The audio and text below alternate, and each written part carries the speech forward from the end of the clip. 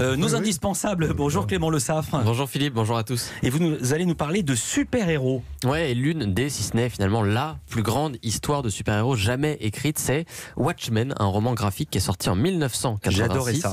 Et qui est en train d'être réédité en ce moment même par Urban Comics. Euh, réédité, pourquoi on ne le trouvait plus? Alors je vais vous dire, moi j'ai l'intégrale, j'ai les 6 ou 8 ou 12 premiers qui m'avaient été recommandés par Doug Headline à l'époque. Ça se fait plus? Alors, on trouvait la version uniquement intégrale, c'est celle que j'ai ramenée aujourd'hui avec moi. Voilà, hop, vous le pouvez la voir, sacré pavé, 400 pages, plus de 2 kilos à la peser, j'ai vérifié ce matin. Ouais. Et au bout d'un quart d'heure de lecture, il bah, faut le dire, bonjour la crampe, c'est pas facile du tout à lire.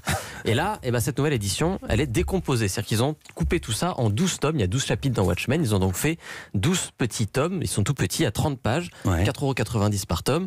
Et c'est comme ça en fait que Watchmen a été publié à l'origine, 12 chapitres de 30 pages. Donc c'est parfait en fait cette nouvelle édition pour ceux qui n'ont jamais lu Watchmen. Il faut lire Watchmen. hein.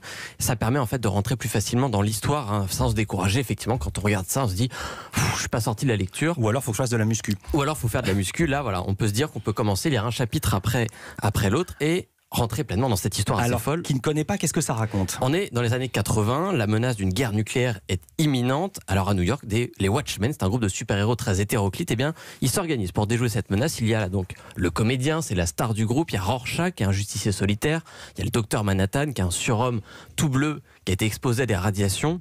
Il y a le hibou qui lui est très intègre, il y a Ozymandias qui est doté d'une intelligence supérieure, qui est un peu le chef spirituel du groupe, et le spectre soyeux, la seule femme qui est un peu malmenée. Et le moins qu'on puisse dire, c'est qu'ils ne s'entendent pas très bien tous. La preuve avec cet extrait de l'adaptation en film qui a été réalisée par Zack Snyder, c'était en 2009.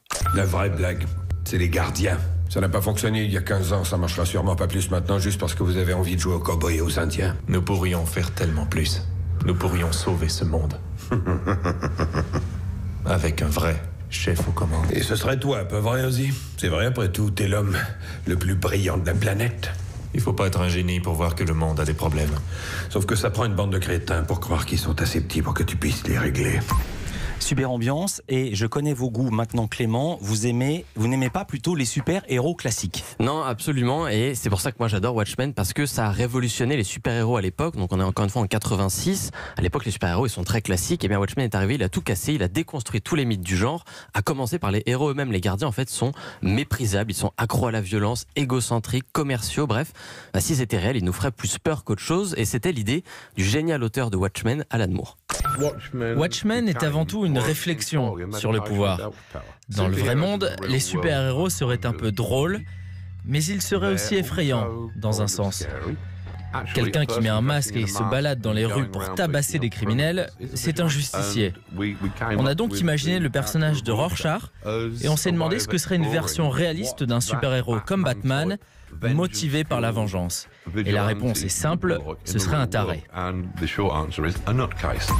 Voilà, et tous les personnages sont du même acabit, complètement dingue, mais c'est justement la force de Watchmen, hein, ces héros détestables qui sont bah, bien obligés de se bouger tous ensemble pour éviter l'apocalypse nucléaire.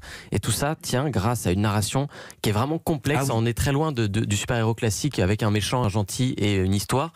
Là, c'est magistral, c'est alambiqué, il faut bien faire attention à toute la lecture. Il y a beaucoup de textes, une narration qui du coup est encore plus puissante, moi je trouve, avec cette nouvelle édition en 12 volumes, puisqu'au rythme de deux tomes par mois jusqu'en juin, bah, ça laisse le temps de digérer tous les événements, peu comme une série. Et alors Clément, il y a eu récemment une série Watchmen, est-ce que ça a un lien? Oui, c'est justement l'autre intérêt pour moi de cette réédition. La série HBO vient de se terminer et euh, ma collègue Margot euh, Barlon nous l'avait vivement recommandé. Je ne saurais euh, qu'appuyer ce qu'elle vous avait dit à l'époque. Je vous renvoie vers son podcast. C'est une série qui est absolument phénoménale et pour mieux l'apprécier, il faut lire le comics qui sort puisqu'en fait la série se déroule en 2019, donc à notre époque, 34 ans après l'histoire originale et elle aborde surtout l'héritage des Watchmen, donc l'héritage de l'histoire qu'on peut lire aujourd'hui dans les comics.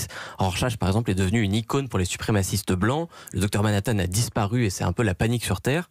Résultat, euh, il y a surtout un élément clé de l'intrigue qui est lié directement à la fin du comics. Si vous n'avez pas lu le comics, il y a des choses dans la série qui vont complètement vous échapper et c'est une bonne raison de relire cette édition qui vient de sortir.